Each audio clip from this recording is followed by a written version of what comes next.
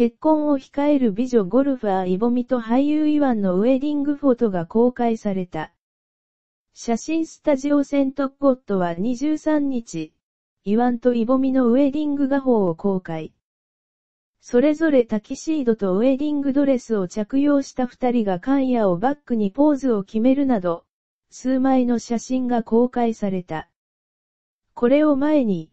ゴルファーのイボミは自身の SNS を通して、とてもとても、ありがとうございますというコメントとともに、